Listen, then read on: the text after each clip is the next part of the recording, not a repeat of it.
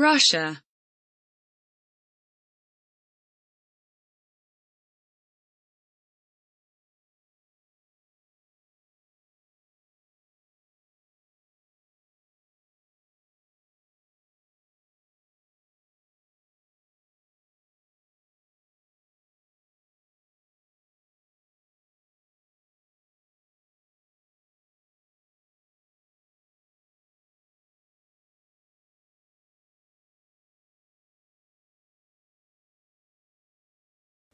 Следующий момент. У нас появилось какое-то гипероружие.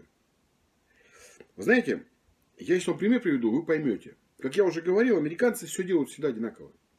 Они люди регламента. Э, зачем что-то выдумывать новое, когда все ходы, собственно говоря, работают как нельзя лучше.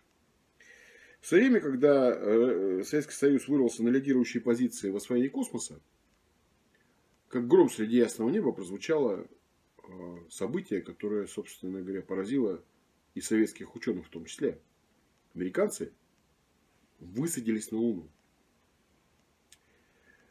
А, являюсь ли я ученым, то есть специалист ли я в космонавтике, в астрономии, прикладной математике, в космологии? Да нет, конечно, я лошара конченый. Лошара Кочергин спрашивает, если американцы приземлились на лунной поверхности Шагали по ней, оставляли свои следы, флажок американский, снимали все это. Скажите, пожалуйста, как они взлетели с Луны? Как? Как они взлетели с Луны? И об этом никто не говорит. И такое ощущение, что никто в этом ни хрена не понимает. Невозможно сделать этого. Невозможно. О чем речь? Вот тогда оказалось, что картинка, снятая на пленку, круче, чем событие, по поводу которого оно снимается. Как сделать так, чтобы бюджет на оборону США был максимальным? Чтобы те люди, которые привели Трампа на пост президента Соединенных Штатов, получали свои заслуженные деньги за то, что они привели его на пост. Взвинчивать гонку вооружений. Кто враги Соединенных Штатов? Ну, так, как там, как-то называют у них деградирующие страны, как сейчас скажу как-то. Ну, короче, быдло ставил. Как сейчас я вспомню название. Здесь даже официальное название для этих стран. Северная Корея и забавно, Россия. Почему? Потому что Россия взвинчивает гонку вооружений, придумывая новые вооружения. Э, с гиперскоростью, там, ракеты, которую там типа никто не может остановить. А скажите, пожалуйста, я как э, ну, дисциплинированный налогоплательщик могу взглянуть на эту ракету. Это не с моих налогов ее там изобрели, ре, реализовали, и она полетела. Ну, чтобы убедиться в том, что действительно вот те миллиарды, которые заявлено потрачены на эту ракету, действительно были потрачены, они э, куплены новые яхты, построены новые виллы и изготовлены новые прекрасные золотые унитазы. Для тех, кто рулит сегодня моей страной в ручном режиме.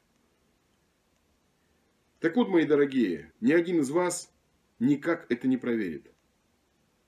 Те, кто дергают за веревочку марионеточное правительство России прямо из океана, им срочно нужно, нужно э, реанимация империи зла. Ну, это благодарная роль отдана России. Вот почему у нас санкции. Вот почему у нас какие-то забавные придумки по поводу, по поводу гипероружия и так далее. Я не знаю, есть оно или нет.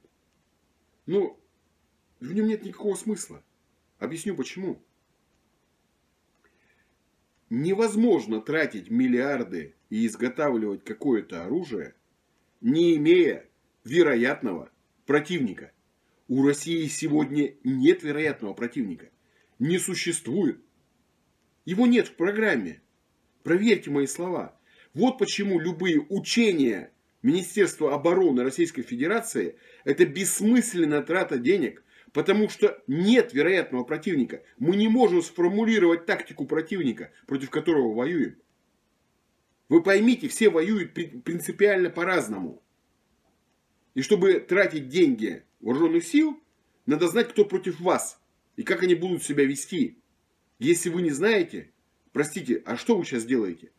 Жжете ракеты, топливо и пытаетесь угробить личный состав, который подвержен опасности во время любых учений. Есть даже процент гибели служащих в этот момент.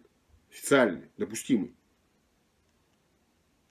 Так вот, не имея вероятного противника, а зачем нам гиперракеты? Против кого мы собираемся воевать? И при этом, при всем, мы остаемся вероятным противником для Соединенных Штатов. Какая прелесть! О чем речь? Это все не патриотизм. Патриотизм – это воспоминание о том, что каждый из нас является хозяином своей страны по факту рождения, по факту того, что наши кости лежат в этой земле. Эти люди завоевали эти территории в кровавой войне, не одной. Отстояли в кровавых войнах, да не в одной. Возвели все, что сейчас работает. То, что по сию пору разворовать не в состоянии все те, кто предали эту страну, начиная с 1953 года, когда господин Хрущев стал ревизионистом той великой экономики и политики, которая была создана при Сталине. На крови и ошибках этого человека, великого человека, я еще раз подчеркиваю, на крови и ошибках но он создавал великую империю. И с 53 года номенклатурно-коррупционный класс правит моей страной. Люди меняют пиджаки, портбилеты, оставаясь, по сути дела, феодалами. В новом феодальном государстве. И если когда-то Монголия шагнула из феодализма в социализм, Россия шагнула из социализма в феодализм.